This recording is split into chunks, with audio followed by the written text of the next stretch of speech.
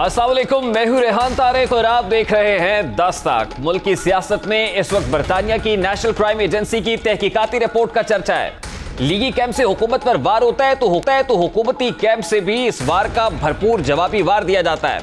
गुजशत 48 घंटे से इसी मामले पर बड़ी बड़ी प्रेस कॉन्फ्रेंसेज हो रही हैं इल्ज़ाम लगाए जा रहे हैं, वसाहतें भी दी जा रही हैं।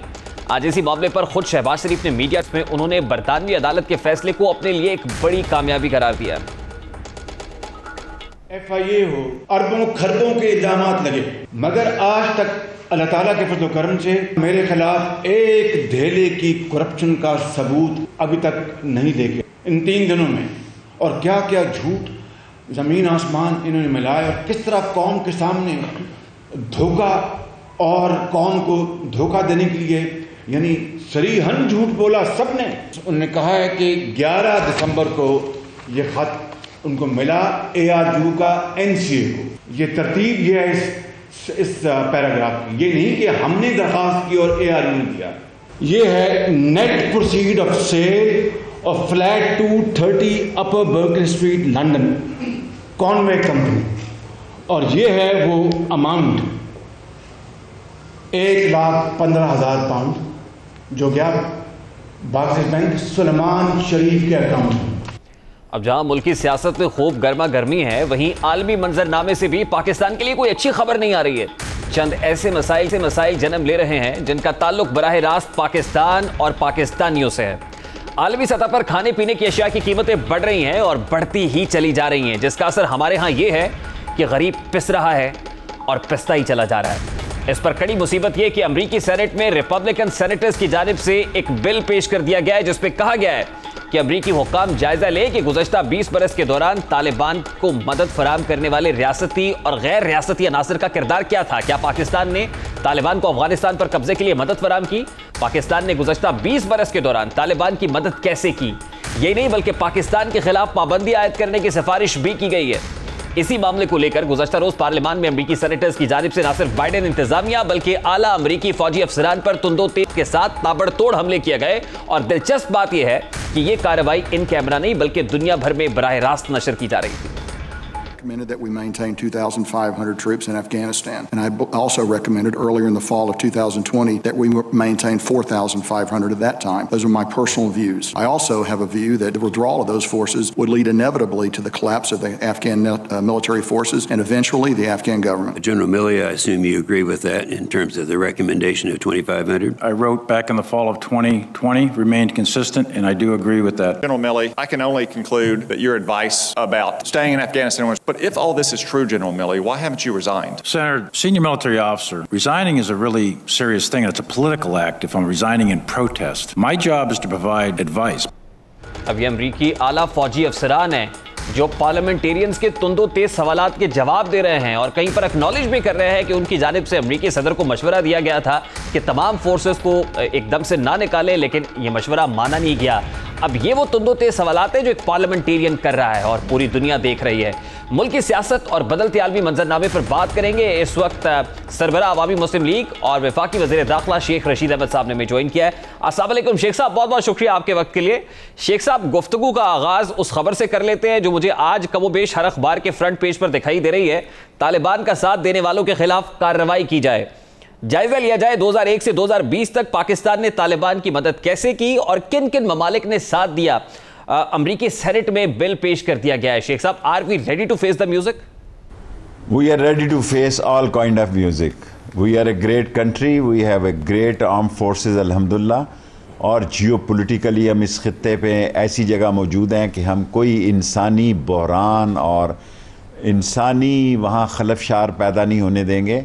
और 20 साल तक जब अमेरिका वहाँ लड़ता रहा है, ये 20 साल से पहले भी 20 साल वो रशिया के ख़िलाफ़ लड़ता रहा है। 40 साल वो लड़ता रहा है। दस्खत उसने किए हैं, हमने तो नहीं किए दोहा में। हमें तो उन्होंने कहा कि इनको टेबल पे बैठाओ, हमने टेबल पे बैठाया अब इतने हज़ार मीलों से वो ग्राउंड रियलिटी से वाकिफ़ नहीं है। हमें दुनिया के साथ भी चलना है और अफ़गान को तनहा भी नहीं छोड़ना। और दुनिया क्या ने जो मैार मुकर किया है, वो देखें अभी आज क्या तारीख हुई है? उनतीस तारीख, इकतीस तारीख को अमेरिकन गए हैं। अगर आप चाहते हैं कि उनतीस दिनों में वो स्कंडे नेविया कंट्री बन जाए, जहाँ जानवरों के भी हकूक़ हैं तो ये तो नामुमकिन है। लेकिन आप ये देखें कि वो दुनिया के मैार पर पूरी उतरने की पूरी कोशिश कर रहे हैं और पाकिस्तान जो है वो उस पर ये इखलाकी इस्लामी मजहबी बतौर पड़ोसी, ये ज़िम्मेदारी है कि उसके पड़ोस में भूख ना हो और उसके पड़ोस में अगर दुनिया क्या करेगी अगर वहाँ भूख से लोगों का हर हाल बुरा हो गया। सो हमें अफ़गानिस्तान का किसी इंसानी बुरान से बचाने के लिए उनकी सपोर्ट भी जारी रखेंगे और दुनिया के साथ भी खड़े होंगे। अच्छा शेख साहब, दौरे न्यूजीलैंड की मनसूखी के बाद ना सिर्फ़ आपने, बल्कि फवाद चौधरी साहब के साथ जो आपकी मुश्तर प्रेस कॉन्फ्रेंस थी उसमें कहा गया कि ये मगरबी साजिश है, वेस्टर्न लॉबी है इसके अगेंस्ट। तो आपको लग रहा है कि वेस्टर्न लॉबी इस वक्त इस तमाम तर सिचुएशन के बाद अगेंस्ट पाकिस्तान कोई साजिश कर रही है?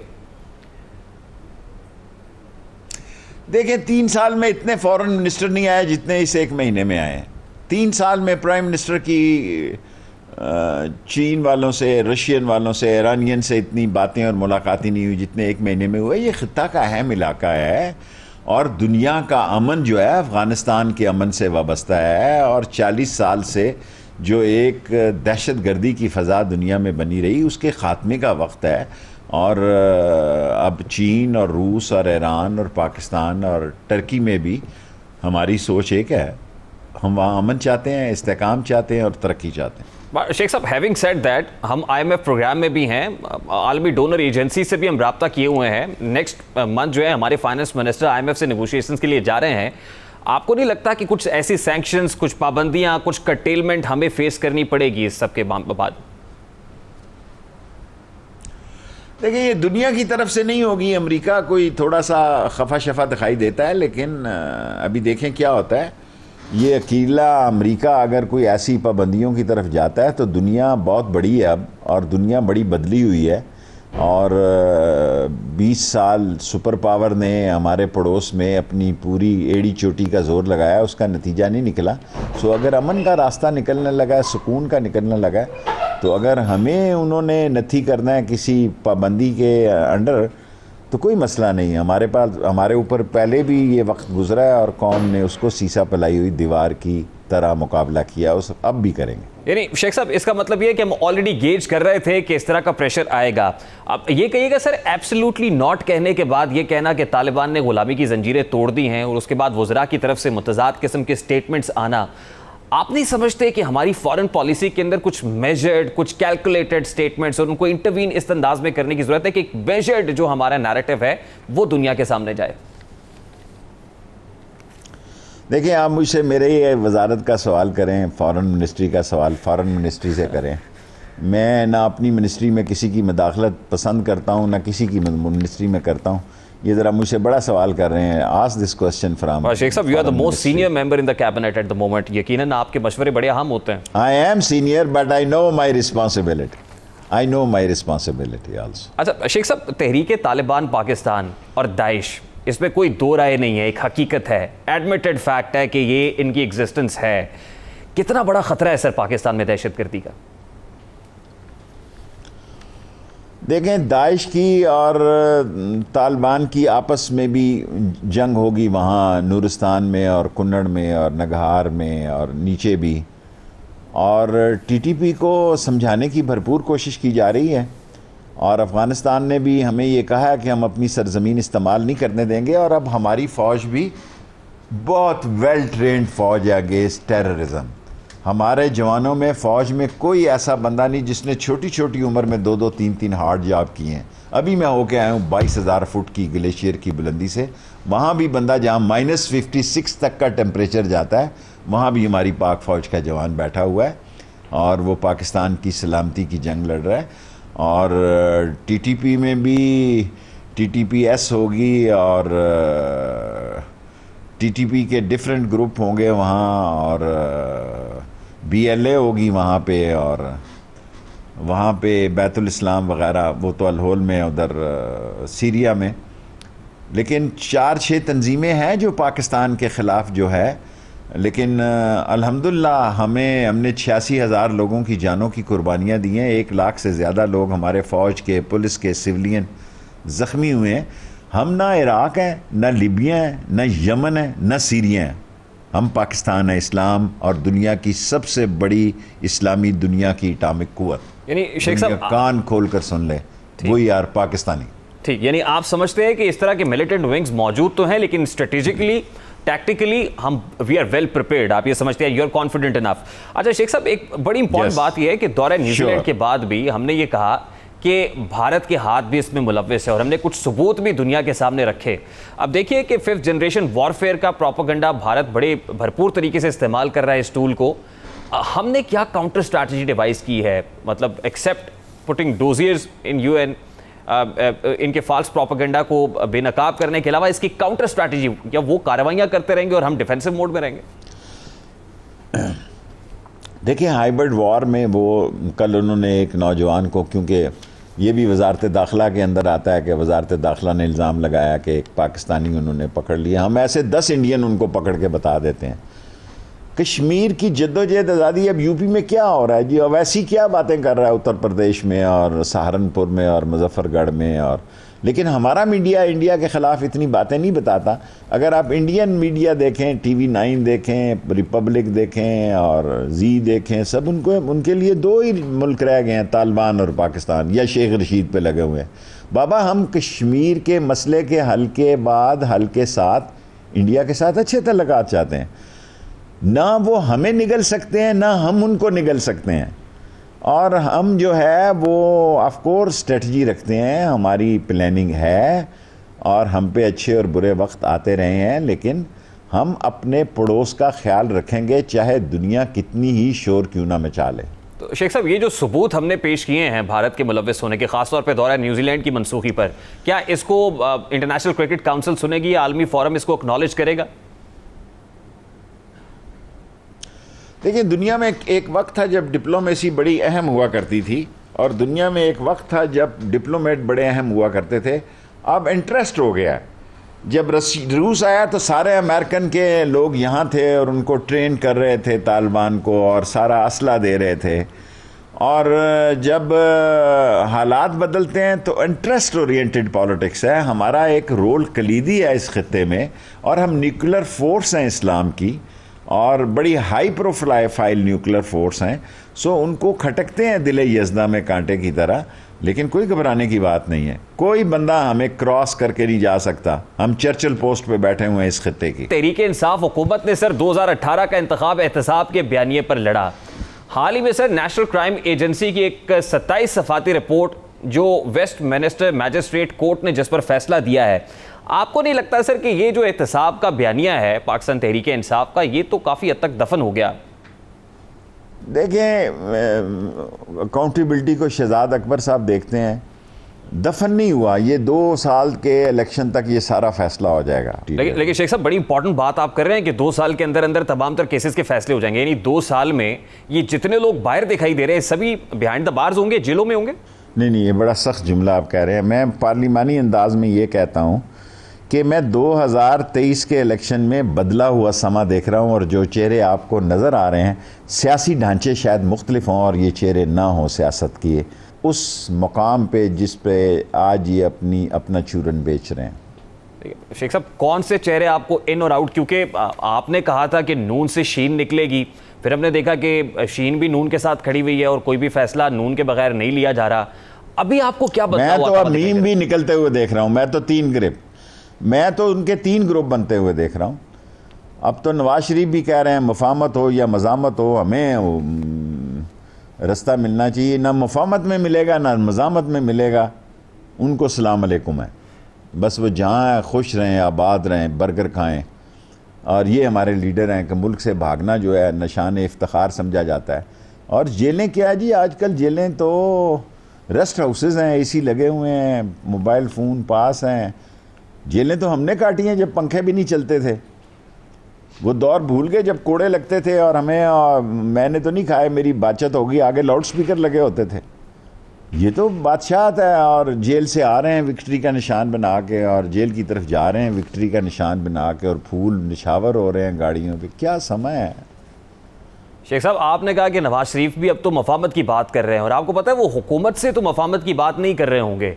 और वो जहाँ मफामत की बात करते हैं जिन हलकों से उसका हुकूमत भी उनसे मफामत की बात नहीं करें। हम भी उनसे मफामत की बात नहीं कर। हम भी उनसे मफामत की बात नहीं कर। रहे लेकिन शेख साहब जिनसे वो मफामत की बात कर रहे हैं आपको लगता है कि ये दाल गलेगी और इसके नतज 2023 के इंतबात में मुरतब तो होंगे? देखिए अगर तीन चार चीज़ें हमने इलेक्शन से इन सालों दो सालों में चार दवाइयाँ हैं इंसुलिन है ब्लड प्रेशर की दवाई है टीबी है और ये दूसरी जो चार दवाइयाँ और चार आइटम खुराक के हमने ठीक कर लिए तो हमारा इलेक्शन बहुत ठीक होगा। यानी शेख साहब, आपका इशारा है महँगाई की तरफ़। एहतसाब का जो बयानिया था उसको तो कदरे ठेस पहुँची है लेकिन आप ये समझते हैं कि महँगाई जो है एक बहुत बड़ा चैलेंज है पाकिस्तान तहरीक इंसाफ हुकूमत के लिए। लेकिन सर देखिए कि अभी जो आलमी मार्केट के अंदर तेल की कीमत है 80 डॉलर फ़ी बैरल 2018 अक्टूबर 2018 के बाद से अब रिकॉर्ड हाई है। क्या करें? चीनी जो है सर महँगी तरीन इम्पोर्ट कर रहे हैं हम। हम एडेबल ऑयल महँगा तरीन इम्पोर्ट कर रहे हैं हम दालें इम्पोर्ट कर? रहे हैं सर। दो सालों में सर ये मसला हल हो जाएगा? देखें हो जाएगा अफ़गानिस्तान के भी तीन चार करोड़ लोगों की खुराक का ख्याल हमें रखना होगा। कोई बात नहीं हम पेट पे भारी पत्थर बांधेंगे और इस सारे लोगों को सब्सिडी देंगे और बेहतरी की तरफ़ जाएँगे और अपने अफ़गानी भाइयों का भी खुराक का ख्याल रखेंगे। लेकिन शेख साहब सब्सिडी वाले मामले पर तो आईएमएफ ने भी कल नो लिफ्ट का बोर्ड लगा दिया। चलें कोई ना कोई तो हल निकालेंगे। मैं इकोनॉमिस्ट तो नहीं हूँ। लेकिन फ़ज़ा बदलेगी तो बदल जाएँगे हालात भी ये सारे और बेहतर होगा इन Sheikh Sahab I still I still remember कि आप कैबिनेट में बैठ कर भी वजी अजम इमरान खान साहब को बताते रहे हैं कि 11 अशिया हैं। अगर आप इनकी कीमतों को कंट्रोल कर लेंगे तो आपकी जो हुकूमत है वो काफ़ी मुस्तकम बेहतर रह सकती है स्मूथ सेलिंग हो सकती है। लेकिन वो ग्यारह चीज़ें तो कंट्रोल नहीं हो सकी, शेख साहब, अभी तक और दो साल रह गए। देखिए, अब ग्यारह से मैं चार पे आ गया हूँ कल की कैबिनेट में। चार दवाइयाँ और चार अशिया खुर्दो नोश पहले मैं ग्यारह खुर्दो नोश पे था, अब मैं चार खुर्दो नोश पे आ गया हूँ और चार दवाइयों पे आ गया हूँ और उसकी मेहरबानी है कि इमरान खान बात सुनता है। ना सुने तो मैं क्या कर सकता हूँ? अच्छा शेख साहब, एक एक और बड़ा इंपॉर्टेंट आप कैबिनेट का ज़िक्र कर रहे हैं तो कल भी कैबिनेट हुई है, ट्यूसडे को होती है। नैब चेयरमैन की मुद्दत म्याद सर, आठ अक्टूबर को ख़त्म हो रही है। यानी अब सिर्फ़ एक, डेढ़ हफ़्ता रह गया है, चंद दिन बाकी हैं। तो क्या रिटायर हो रहे हैं? जस्टिस रिटायर्ड जावेद इकबाल साहब या एक्सटेंशन दे रहे हैं सर मुझे नहीं मालूम सवार तक फैसला आ जाएगा सवार मंगल सवार तक फैसला आ जाएगा जो भी हो रहा है मुझे नहीं मालूम। So, what, what आज is... मैं सोच रहा हूँ कि फ़रोग नसीम के पास जाऊँ और पूछूँ क्या हो रहा है? शेख साहब आप तो वैसे बड़े रिसोर्सफुल आदमी हैं। आपके पास मालूम तो सारी होती हैं। What is likely to happen sir everything can possible both the side fifty fifty का प्रोग्राम है अभी। ठीक है कुछ भी हो सकता है। अच्छा ए, एक एक और इंपॉर्टेंट बात सर। सिकंदर सुल्तान सिकंदर सुल्तान राजा साहब जो जिन्होंने रेलवे मिनिस्ट्री में आपके अंडर काम किया है और आप कहते रहे हैं कि he is an upright officer जब वो चीफ इलेक्शन कमिश्नर एक कॉन्स्टिट्यूशनल इदारे के सरबराह के तौर पर आए तो हुकूमत के उनके साथ जो थेवर है वो बदले बदले हैं। ना सिर्फ़ बदले हुए हैं बल्कि वो तो ये कहते हैं कि ये मियाँ साहब के हाथ की घड़ी है और शहबाज साहब के हाथ की छड़ी है, कुछ इस तरह की बातें होती रहीं। तो क्या वजह हुई सर कि इतना अपराइट ऑफिसर उसके बारे में हुकूमत को इस तरह के जुमले दागने पड़ रहे हैं? एक्चुअली इमरान खान कमिटेड है ओवरसीज़ वोटों के लिए और एवीएम मशीन के लिए। इस पर वो कोई रिट्रीट करने के लिए तैयार नहीं है। और वो बिल भी लाने जा रहे हैं और इमरान खान का हर कैबिनेट में पिछले डेढ़ दो साल से पैंतालीस मिनट इसी पे सफ़र सफ़र होता है। पहले पैंतालीस मिनट के ओवरसीज़ पाकिस्तान का वोट और इलेक्ट्रॉनिक वोटिंग मशीन उस पर वो डटा हुआ है और वो इस पे कायम ये सब खान साहब तो कमिटेड हैं लेकिन आपको लगता है कि इलेक्शन कमीशन और अपोजिशन भी तैयार हो जाएगी ईवीएम पर? कुछ ना कुछ तो निकल आएगा। मैं तो इतना मायूस नहीं हूँ। अभी सारी बातें तो चैनल पे नहीं कही जा सकती। लेकिन मैं इतना मायूस नहीं हूँ, कुछ ना कुछ हल निकल आएगा। अच्छा शेख साहब बाकी दो सवाल हैं। देखिए शहबाज साहब जो हैं उनसे मुतालिक बहुत सारी बातें होती रही हैं। आपने कहा उनके केसेस बड़े तगड़े हैं। लेकिन आपको लगता है कि अगर नवाज़ शरीफ साहब शहबाज साहब के हाथ में कमान दे देंगे नून लीग की और नून तैयार हो जाएगी तो 2023 के इंतबात पर वो असरअंदाज ज़रूर होंगे, मैनिपुलेट ज़रूर करेंगे। हुकूमत के लिए टफ टाइम ज़रूर होगा। देखें, पंजाब में नून लीग का और तहरीक इंसाफ का इलेक्शन होगा। सिंध में नून लीग कहीं नहीं है, पख्तूनख्वा में कहीं नहीं है, बलूचिस्तान में कहीं नहीं है स्कर्दू में कहीं नहीं है। और इलेक्शन तो इलेक्शन होते हैं, लेकिन शबाज शरीफ की अपनी सियासी हैसियत क्या होगी? दो साल बाद we have to wait and see आप फिर बड़े कॉन्फिडेंट हैं। आपको ये लग रहा है कि शहबाज साहब भी 2023 के इंतबात से पहले पहले माइनस हो जाएँगे। इस तरफ़ इशारा कर रहे हैं मैं मैं नए सियासी ढांचे बनते हुए देख रहा हूँ नून में भी और इधर उधर भी। सो so, जो मुमकिन है मैं गलत देख रहा हूँ। जब मैंने कहा कि नून से शीन निकलेगी तो लोग मेरा मज़ाक उड़ाते थे। अब तो मैं कहता हूँ कि शीन से भी मीम निकल सकती है। हालात नून लीग में काफ़ी जुडो कराटे वाले हैं और मुल्क जो है, ये रीजन जो है, उसमें बहुत ही ज़िम्मेदाराना करदार होने जा रहे हैं। डोमेस्टिक पॉलिटिक्स ख़त्म होने जा रही है इंटरनेशनल पॉलिटिक्स जन्म ले रही है। इंटरनेशनल पॉलिटिक्स भी मैटर करेगी अब। और शेख साहब, जब आप इंटरनेशनल पॉलिटिक्स के मैटर करने की बात करते हैं तो आपको याद होगा, अभी तो हम कांग्रेस की बात से हमने शुरू की थी गुफ्तु मौलाना फजल रहमान साहब से अमरीका से एक डेलीगेशन मिला। फिर बिलावल साहब अमेरिका में कांग्रेस के कुछ लोगों से मिलने के लिए जा रहे हैं तो ये इंटरनेशनली तो ऑपोजिशन के ये लोग भी बड़े एक्टिव हैं सर इनसे ज़्यादा इमरान खान पढ़ा लिखा है और इनसे ज़्यादा समझदार है। और मौलाना फजल रहमान साहब की सियासत जो है, मैं समझता हूँ वो घाटे की सियासत रही है और घाटे की रहेगी। और पाकिस्तान जो है, जिस चर्चल पोस्ट पे बैठा है उसकी अहमियत को कम नहीं किया जा सकता चाहे अमेरिका के सोचने का अंदाज कुछ ही क्यों ना हो। शेख साहब लास्टली ये कहिएगा कि 2018 का इंतखब तो आप पाकिस्तान तहरीक इंसाफ हुकूमत ने एहतसाब के बयानिए पर लड़ा। 2023 में पाकिस्तान तहरीक इंसाफ का बयानिया क्या होगा?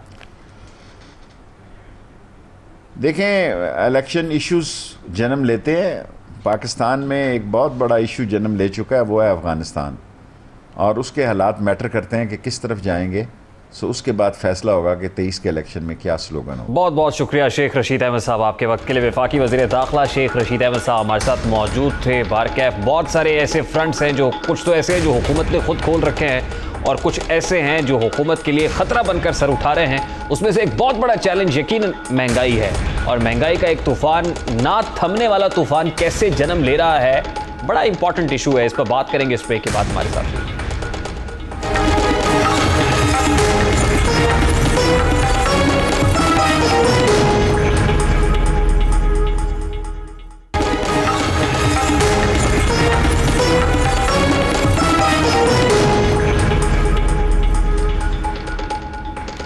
वेलकम बैक पाकिस्तान इस वक्त दुनिया के उन ममालिक की फहरिस्त में शामिल हो चुका है जो एशियाई खुरोनोश दरामद कर रहे हैं। पाकिस्तान को आटा, चीनी और दालों के लिए दीगर ममालिक का सहारा लेना पड़ रहा है। आम आम गजाई इजनास दरामद करने के बायस पाकिस्तान में महँगाई का एक बड़ा तूफ़ान आने का खदशा है। बुनियादी ज़रूरत की अशिया, महँगाई का बोझ आम सारिफ की जेब पर पड़ेगा। महँगाई के ये खदशात हुकूमत के उन मुतनाज़ फैसलों की वजह से हुए हैं, जिनको करने में हुकूमत ने शायद बहुत ताखिर कर दी है, बहुत देर कर दी है। मौजूदा दौरे हुकूमत में गंदम के महँगे तरीन सौदे हुए। चीनी तारीख में सबसे ज़्यादा महँगी कीमत पर दरामद की गई। खुर्दनी तेल और दालें भी महँगे दामों मंगवाई गई। सवाल हुआ कि हुकूमत महँगी अशियाए खुरोनोश मंगवा कर आम सारिफ की जेब पर बोझ क्यों बढ़ा रही है? हुकूमत की जानब से दावा किया गया कि आवाम को टारगेटेड सब्सिडीज देकर इसका अजाला किया जाएगा। यानी जिस वक्त फाइनेंस मिनिस्टर से यह सवाल हुआ कि इतनी महँगी चीज़ें इंपोर्ट कर रहे हैं, सस्ती कैसे फराम करेंगे तो शौकत तरीन साहब के पास क्या जवाब था? जरा वो जवाब मुलायजा कीजिएगा। हम फ़ूड सब्सिडी देंगे, आटे पे देंगे, चीनी पे देंगे, घी पे देंगे और दालों पे देंगे, जो तकरीबन 40 से 42 फ़ीसद पॉपुलेशन है। अब इंटरेस्टिंगली हुकूमत ने आवाम को सब्सिडी देने का वादा किया, मगर आईएमएफ ने बिजली, गैस, आटा, चीनी और दालों समेत दीगर अशिया पर अशिया पर दी जाने वाली गैर ज़रूरी सब्सिडी खत्म करने की तजवीज दे दी है। हुकूमत और आईएमएफ के दरमियान मुजाकर तो अगले माह ही होंगे, जिनकी कामयाबी की सूरत में हुकूमत को न सिर्फ़ आईएमएफ से एक अरब डॉलर कर्ज की किस्त जारी की जाएगी, बल्कि एशियाई तरक्याती बैंक एशियन डेवलपमेंट बैंक और आलमी बैंक से भी फाइनेंसिंग हासिल करने में मदद मिलेगी। पाकिस्तान की कोशिश है कि आईएमएफ के साथ मुजाकर कामयाब हो जाए। इस वक्त वजारत खजाना दो धारी तलवार के किनारे पर खड़ी है। अगर आवाम को रिलीफ दी जाए तो आईएमएफ के साथ मुजाकर नाकाम हो सकते हैं, क्योंकि आईएमएफ ने क्लियरली कह दिया कि कोई सब्सिडी नहीं होगी। इसी तरह अगर आवाम को रिलीफ नहीं दी जाती तो महँगाई का एक और बड़ा तूफ़ान आ जाएगा। लेकिन मौजूदा माशी सूरत हाल में हुकूमत के लिए आई एम एफ़ के प्रोग्राम में जाना इंतहाई अहम है। हालाँकि वज़ीर खजाना शौकत तरीन ने अपनी पहली बाकायदा प्रेस कॉन्फ्रेंस में दो टोक अल्फाज में कहा था कि पाकिस्तान आई एम एफ़ की शराइ पर नहीं चलेगा। उन्होंने वाजे किया था कि पाकिस्तान अपने तरीके से रेवेन्यू बढ़ाएगा। वज़ीर खजाना ने दावा किया था कि इस मरतबा आई एम एफ़ पर नहायत सख्त शराइ लगाई हैं, जिनकी सियासी कीमत भी है। इन इम्प्लीकेशन से मुतल शौकत तरीन साहब खुद ही अपने पहले बयान के अंदर जो स्टेटमेंट उनकी तरफ़ से एक प्रोग्राम में जारी किया गया, वो क्या कह रहे थे? उसकी एक झलक आपके सामने रखता है। शुरू के बीच में हमने गलती कर और मेरे ख्याल में सोच ये थी कि देखें फ्रंट लोडेड कर दिया जाए ताकि पॉलिटिकल कॉस्ट तो जो होगी होगी। हमें बाद में इसको इसको, उसको चेंज नहीं करना पड़ेगा। आई थिंक ये ये चीज़ जो थी, ये थिंकिंग ठीक नहीं थी। थिंकिंग ये होनी चाहिए थी कि हमें जो है अपने अमाम के लिए, जो हमारे जो बेसिकली जो ग्रोथ थी इस वक्त साढ़े पाँच परसेंट की, वो ज़रूर ये थी कि आप उसको एक डेट सपोर्टेड वो ग्रोथ थी। तो उसकी वजह से आपने करंट अकाउंट डेफिसिट को बहुत बड़ा कर दिया। ठीक है, उसको आप हैंडल करते। लेकिन अगर सात परसेंट आपका कोर इन्फ्लेशन है और सवा तेरह परसेंट पे आप इंटरेस्ट रेट लेके चले गए और फिर उसके बाद एक्सचेंज रेट है, उस वक्त एक सौ बारह, एक सौ पंद्रह पे फिर रहा था और आप उठा के उस पर एक सौ पैंसठ पे लेके चले। तो आपने मीशत की तो बेड़ा गर्क ही करके रख दिया ना। अब हुकूमत और आवाम को तो थी कि Shaukat Tarin I M F के प्रोग्राम में रहते हुए महँगाई कम करने, रोज़गार बढ़ाने और जीडीपी की ग्रोथ में इजाफा करने में अहम किरदार अदा करेंगे, लेकिन उनका दौर भी आवाम को कोई फ़ायदा नहीं पहुँचा सका। उन्होंने बजट इजलास के दौरान आवाम को खुशखबरी सुनाई कि आईएमएफ को नो मोर कह दिया है, अब आईएमएफ की नहीं चलेंगे। जैसे आईएमएफ कह रहा है, वैसे नहीं होगा। शौकत तरीन साहब ने हुकूमत को से मुतालिक हुकूमत की नई स्ट्रैटेजी कैसे अनवेल की थी और आवाम को क्या खुशखबरी सुनाई थी? जरा वो भी आपके सामने रखते हैं। आईएमएफ ने तो हमें कहा था कि आप 700 अरब रुपए के नए टैक्स लगाएँ। ये तो मैं खड़ा हो गया और मैंने कहा, ये नहीं लगेगा, ये कोर्सिव है this is this is basically not going to help our economy वज़ीर खजाना तो खड़े हो गए आईएमएफ के सामने, लेकिन वज़ीर खजाना के इस बयान के बाद बिजली के बिजली के नर्ख बढ़े। महँगाई में तूफानी इजाफे के बावजूद गर्दिशी कर्जे खत्म हुए और ना ही आवाम को किसी किस्म का रिलीफ मैसर आ सका। हाँ वज़ीर दाखिला के बयान ने अब आई एम एफ़ के रवैये में सख्ती पैदा कर दी। जो फाइनेंस मिनिस्टर ने, जो वज़ीर ख़जाना ने स्टेटमेंट्स दिए हैं, उसकी वजह से आई एम एफ़ का जो रवैया है, उसमें काफ़ी सख्ती आ गई है। अब आलमी इदारे की शराय के बाद आवाम पर बोझ डालने की तैयारियाँ की जा रही हैं। हुकूमत अगर आवाम को रिलीफ देना चाहती है तो उसे फौरी तौर पर, फौरी तौर पर 800 अरब रुपए चाहिए, लेकिन यह रकम कहाँ से आएगी? महँगाई पर कंट्रोल करने की बजाय सब्सिडीज का रुझान कब तक जारी रहेगा? अगर पाकिस्तान आईएमएफ शराइ तस्लीम नहीं करता तो इसके इंप्लीकेशन क्या होंगे? हुकूमत आवाम को सब्सिडी देने पर मजबूर क्यों कर रही? हालाँकि वज़ीर अजम इमरान खान खुद माजी में आवाम को सब्सिडीज देने पर माजी की हुकूमतों को तनकीद का निशाना बनाते रहे हैं। ऐलानात और माजी की हुकूमतों पर इल्ज़ाम के बरक्स हुकूमत ने जी भर के सब्सिडीज ये सब्सिडीज किन अफराद को दी गई? सब्सिडीज से आवाम को कितना फ़ायदा हुआ? किस किस मद में आवाम को सब्सिडी दी गई? आईएमएफ के सामने हथियार डालने का नुकसान क्या होगा?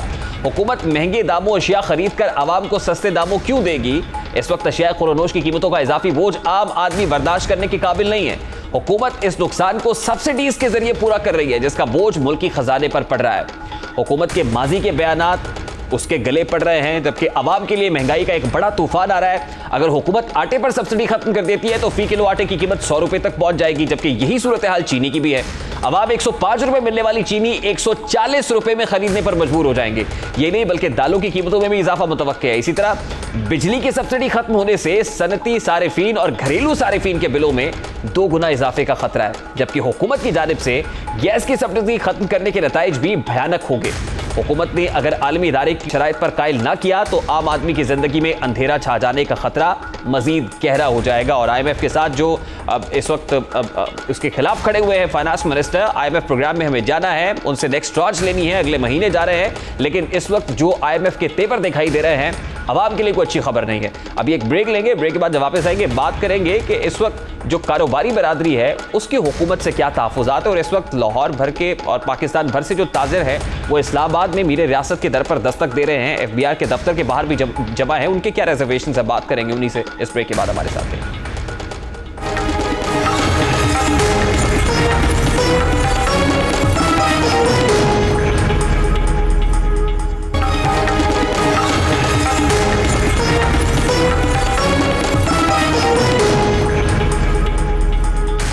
वेलकम बैक मुल्क भर से ताजर इस वक्त शहर इकतदार में धरना दिए बैठे हैं। ताजरों के मुतालबात क्या हैं, उन्हीं से जानते हैं। इस वक्त मरकजी सदर और पाकिस्तान अंजुमन ताजरान अजमल बलोच साहब ने हमें ज्वाइन किया है।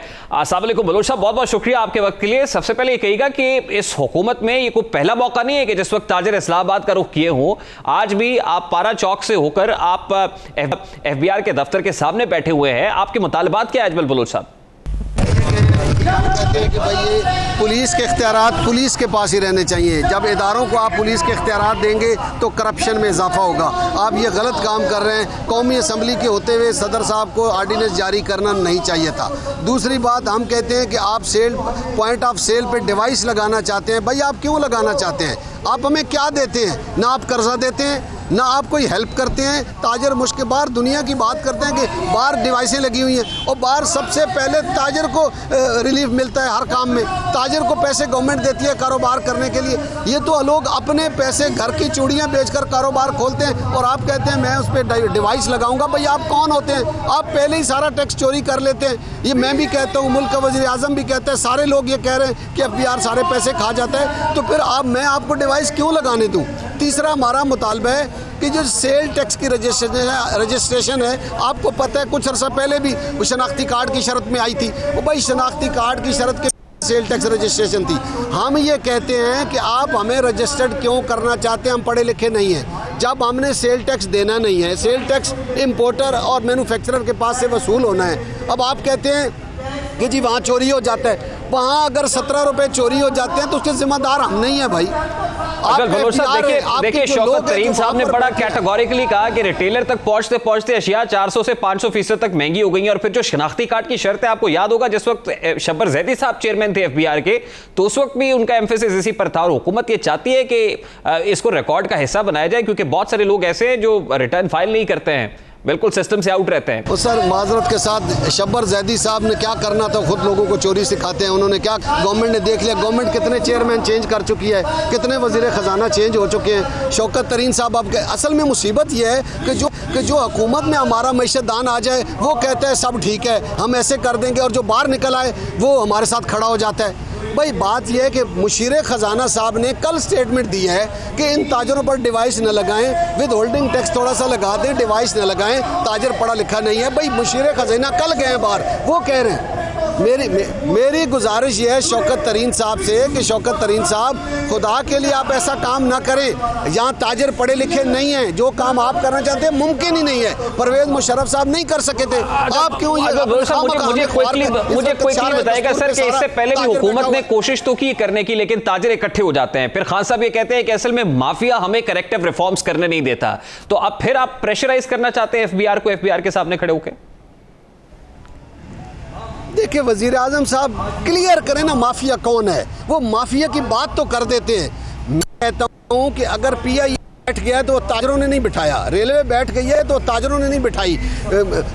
पाकिस्तान के दारे पाँच पाँच सौ अरब रुपए के खसारे में गए तो हमने नहीं बिठाए वो वो एफ़ बी आर के लोगों ने उनको बिठाया अच्छा, मुझे ब्रेक पर जाने का कहा जा रहा है सर मुझे मुझे ब्रेक पर जाना है। मुझे बस लास्ट सेंटेंस बता दीजिएगा आपका अगला लाहेमल क्या होगा? नेक्स्ट स्ट्रैटेजी क्या है आपकी? देखिए, अगला अगला लायामल अभी मुजात के लिए हमें बुलाया जा रहा है कि आपसे मुजात करते हैं मुजात कामयाब होते हैं या नाकाम होते हैं, उस सूरत में फिर हम मीडिया से बात करें। बहुत बहुत शुक्रिया। बहुत शुक्रिया अजमल बलोच साहब आपके वक्त के लिए। सदर पाकिस्तान अंजुमन ताजरान अजमल बलोच साहब हमारे साथ मौजूद थे। ब्रेक लेनी है। ब्रेक के बाद वापस आते हैं गुफ्तु कंटिन्यू करेंगे हमारे साथ रहेगा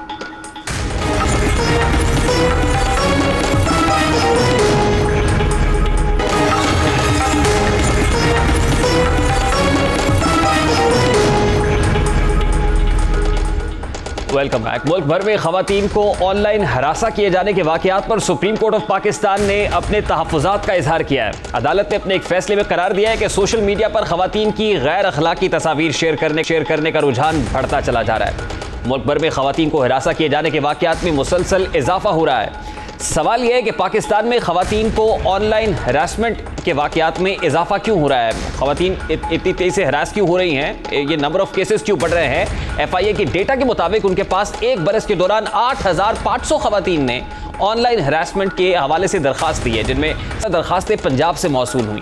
साइबर क्राइम यूनिट को पंजाब से पाँच पाँच हज़ार पाँच सौ दरखास्तें, जबकि सिंध से तीन हज़ार दो सौ छत्तीस दरखास्तें मौसू हुई हैं। एफ़ आई ओ को बलोचिस्तान, खैबर पख्तूनखा और आज़ाद कश्मीर से कोई काबिल ज़िक्र दरखास्त मौसू नहीं हुई। सवाल यह है कि इन दो सूबों से क्राइम यूनिट को दरखास्तें क्यों नहीं मिली? क्या इन दो सूबों में खातन को खातन को हरास नहीं किया जाता? अगर कोई खातून एफ़ आई एस रुजू भी कर ले तो ज़्यादातर शिकायत करने वाले खानदान या मुतासरा फरीक मामले को अदालत में ले जाने से पहले ही खत्म कर देते हैं। और इसकी बुनियादी वजह यह है कि वो माशरे में अपनी और अपने खानदान की साख खराब नहीं करना चाहते। पचासी फ़ीसद शिकायत मुलजिम की जानब से माफीनामा लिखने, तस्वीर सोशल मीडिया से हटाने और आइंदा ऐसी हरकत ना करने की यकीन दहानी पर वापस ले ली जाती है। सिर्फ़ पंद्रह फ़ीसद शिकायत करने वाले अदालत में कानूनी कार्रवाई के लिए जाते हैं। हुकूमत की जानब से खातन को मोबाइल एप्लीकेशन और कभी हेल्पलाइन के ज़रिए अपने फ़राइज से खलासी हासिल करने का दावा किया जाता है, मगर सिर्फ़ मोबाइल एप्लीकेशन और हेल्पलाइन की सहूलत देने से यह सख्त कानून साजी मसले का हल नहीं है, बल्कि इसके लिए शौर पैदार करने की ज़रूरत है। खातन की बात को संजीदगी से ज़रूरत है। प्रोग्राम का वक्त अपने अख्ताम को पहुँचे आपसे मुलाकात होगी। इन शाला अपना रखे हुए